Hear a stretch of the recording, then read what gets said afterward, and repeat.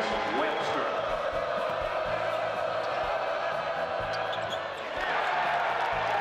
Three-point night with the score Fullerton 5, UCLA nothing.